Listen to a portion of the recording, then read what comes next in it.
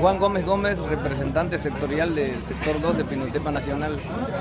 Este, profesor, eh, parece que tuvieron un problema en la estancia con una escuela. Así es, así es. Ahorita este, tenemos, bueno, desde antes tenemos un problema en estancia grande con este, compañeros maestros contrarios a nuestra sección 22 tomaron las instalaciones de educación preescolar, de educación primaria y de secundaria generales.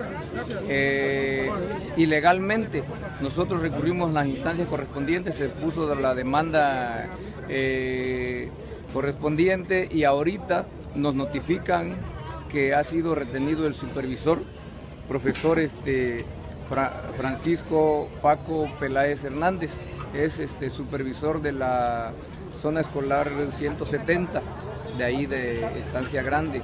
Fue retenido por los compañeros de la sección 59 en compañía de un grupo de padres de familia. ¿Sigue retenido? Sigue retenido, sí, en las oficinas que utilizaba él o que despachaba como supervisor escolar. Hasta ahorita la única noticia que tenemos es de que ya se fue la policía este, eh, de la fiscalía y se fue la policía estatal a tratar de rescatar al compañero. ¿Es solo él el que está retenido? ¿Solo él está retenido? Está retenido en compañía de otros dos compañeros. Nos notifican que son directores también que corresponden a la misma zona escolar. ¿Alguna acción de parte de ustedes?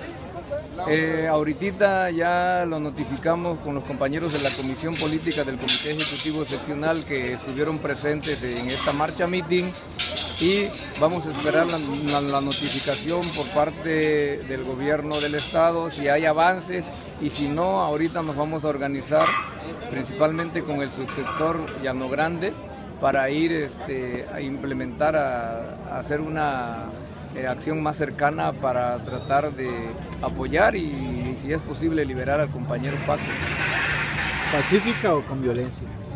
Eh, pacífica, siempre, siempre vamos a tratar de implementar o de hacer acciones pacíficas. La verdad nosotros sí no fomentamos la violencia, siempre trataremos de que todo sea de manera este, cordial y pacífica.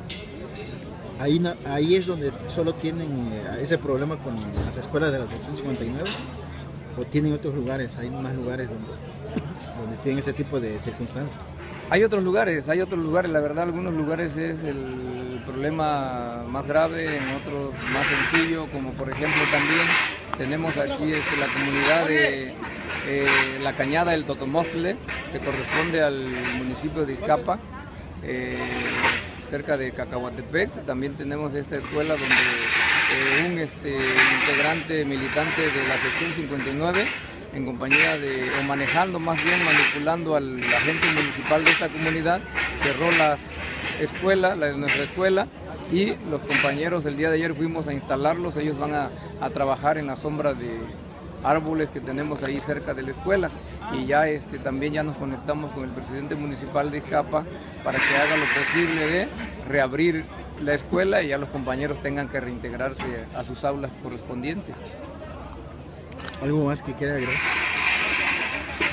Eh, lo que quisiera agregar como integrante o como militante de nuestra sección 22, pues este, queremos decirle al Estado de que nosotros seguiremos luchando por este, hacer justicia, porque la verdad no es otra cosa más que exigimos justicia, exigimos que las cosas se hagan conforme a la ley y este, de ninguna manera nosotros vamos a fomentar ningún tipo de violencia, sino todo apegado a la ley nada más.